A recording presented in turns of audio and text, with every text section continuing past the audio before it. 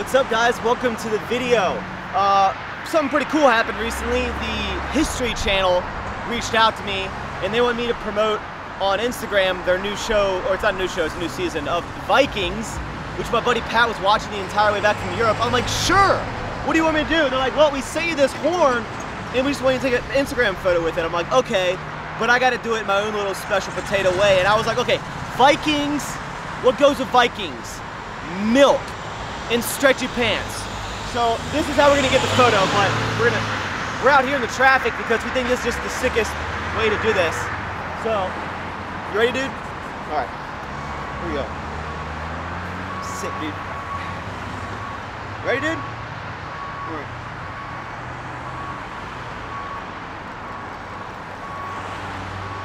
One more time. It's it's lactating, dude.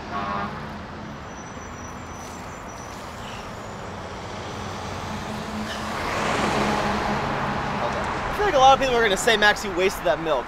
This is whole milk, and I would never waste it. So you know, there's like the gallon challenge. How much do you think I? This is like, it's right here. You think I can drink this whole half a gallon in one scene? Yeah. You think I'm gonna throw up? I gotta do deadlifts in a little bit. All right, here we go, guys.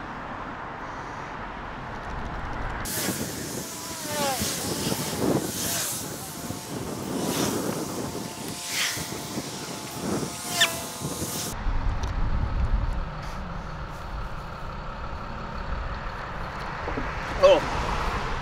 Oh. I didn't finish it. I'm, out.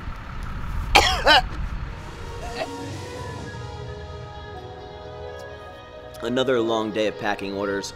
Shout out. Ooh, that's sour. Shout out to everyone who placed an order on Cyber Monday because your order is already freaking out, dude.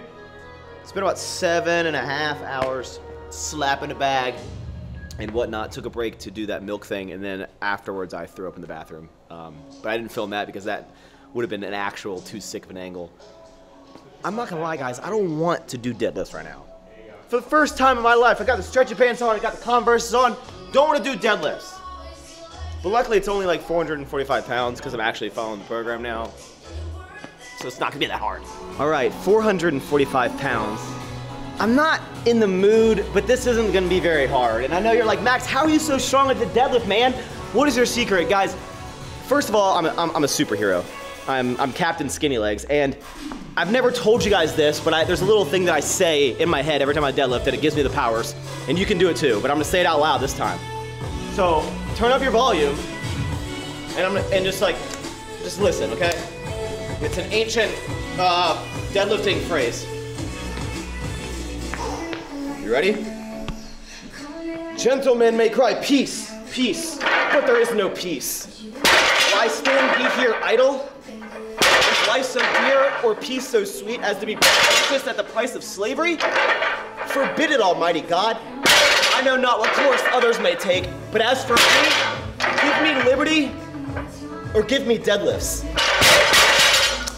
So my last video that talked about business got a lot of positive feedback, so I want to give you another insight into my brain hole.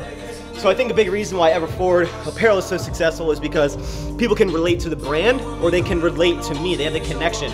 And if you create something, you need to have like almost like a meaning or a purpose behind it. You can't just put a sick flaming bird as like your, you know, mascot and be like, I'm the sickest athletic company in the world. Like people are, it's gonna phase out. Like you need a connection with the brand. And with me, you know, people can relate to the Everforward, the mantra, the message, or they can relate to me. They can connect with me as a, as a human. They've seen me start Everforward Apparel over here, and they, uh, they've seen me put in the work, and they connect with it, and they like they feel like a part of it. They feel part of the family because like you know when I have issues and I have downs and I have ups and I lose money, like I tell everything. You know everything, ins and outs of the business, and you have that connection. You've seen me kind of transition through life and you know hopefully kind of go like this and I want to motivate all of you guys to do that as well. I got some comments in my last video about the More Life series. They're like, oh I didn't really watch that. It got less views because that's like an unrealistic thing. Not everyone can go on these like lavish vacations and like, you know, do all that. We want relatability. You know, we want videos at home because we can relate to that. I can't relate to you traveling. Guys, I'm living proof, living example of you can. Like I literally, I've started graduating college and going to a job and then doing something I love and keep putting in the work, keep putting in the work. And when everyone made fun of me for making videos, I continue to do it. And like, and now I'm at this point. I'm living proof that you can do that too. It's, it may not be through YouTube, it may not be through social media, but everyone has the possibility to do these things. Like, I'm not like an anomaly. I, I do have really small legs and a big deadlift, but I'm not, like, I'm not like, if someone else has the ability to do something, best believe you can do that shit too. You put your mind to it and get off your ass and actually put in some, you know, some work. Speaking of people that have been following me for a long time, you really have like seen me progress through life. I wonder who's been following me like the longest. Let me try to think. Leave some comments down below if you can answer these three questions. What cereals did I used to mix together all the time? Where did I used to hide my protein in my old house because I ordered a ton of it? And at my old girlfriend's house, girlfriend's, what did I put in a blender that when I turned it on, it went all over her kitchen? If you can answer those questions, you are a true OG of the channel, and you've seen me keep moving in, you know, this weird world we call life. But guys, you can do anything you want to do. One day you can do this exact thing that I'm doing right here. If you put in the freaking work, dude. Haters on YouTube be like, oh my god, you're so skinny, Max.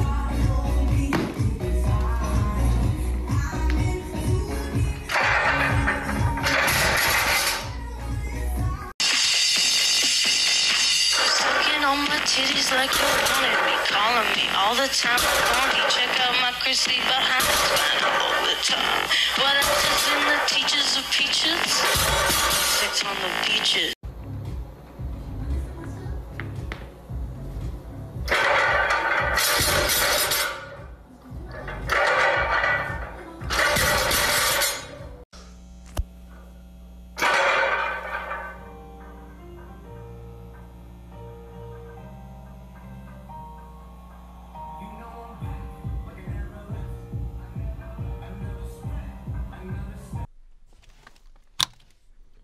So here's a crazy sight. All of these shelves were filled on Thursday. This was all compression gear. This was all the large t-shirts. This is all of the large t-shirts that I've left. This is all of the medium t-shirts I've left. Like it's insane. It is currently 12:15 in the morning and I stayed late to finish up every single order. We had 2,300 and some change orders since Thursday. Like, you wiped the entire store out. Thank you guys. And every single order that was placed since Thursday has been shipped as you're watching this video. So, it's been some long days, long weekends, and now I'm, I'm really hungry and, and tired.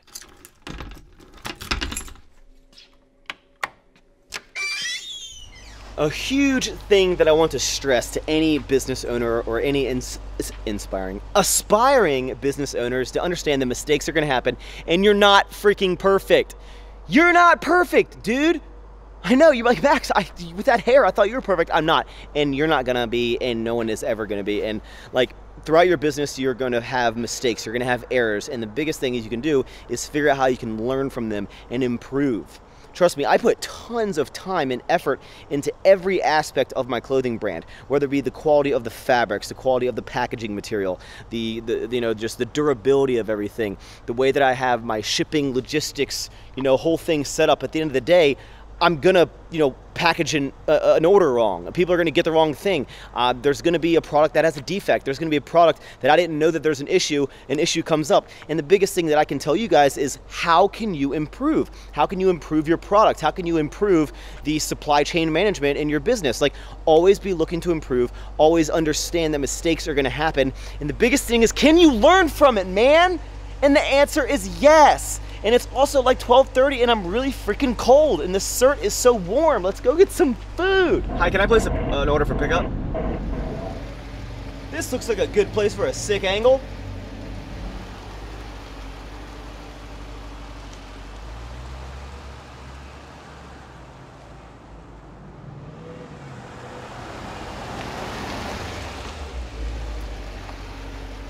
So sick, dude.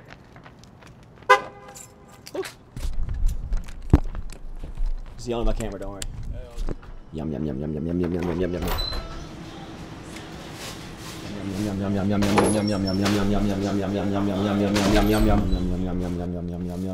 yum. yum. Steak, chicken, potatoes, rice, chicken curry, and the best thing ever, some un non non. What's your name? I love bread. Bread's probably my favorite food besides candy. Mmm. It's been a long weekend. It's been a long night. I'm gonna eat this, go to sleep, and I'm not gonna set an alarm tomorrow. I'm just gonna sleep in because I need some rest. What time do you think I'm gonna wake up? Find out in three, two, one. Didn't end up going to bed till about 2:30 and 8:45. Why? Why? Smoothie, yeah, yeah. I missed you while I was traveling, but life now. Time for the secret ingredient. Today's the 28th. This bag says used by the 25th. The leaves are kind of wet. They're just leaves, dude. Leaves don't expire. Fact. Oh, they're all stuck together. I'm not gonna lie to you guys. I have been an advocate of taking a multivitamin and a fish oil ever since I've started my channel, and I've been slacking, especially while I've been trying. Why do vitamins always that smell like buttholes? I don't know what a butthole smells like. I really like the Ghost fish oil because I used to have to take like three or four, but this bad boy is so freaking dose with 1250 mg's. Ah, health. If you guys don't make a smoothie every morning, what are you doing with your life?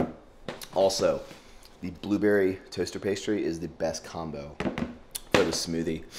I have the new flavors, the white chocolate peppermint bark and the and the and the snickerdoodle protein, but I don't think that would be good in a fruit smoothie. You wanna know why? Because blueberry's the best!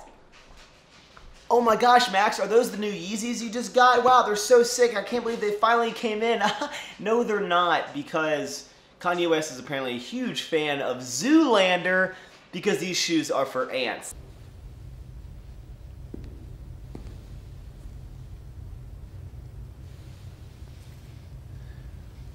What is this? A center for ants? What? How can we expected to teach children to learn how to read if they can't even fit inside the building?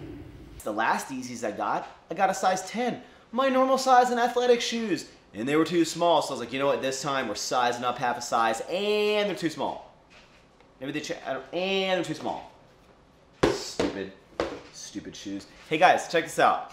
Uh, I don't know if you follow all my social media, but this is GQ Portugal.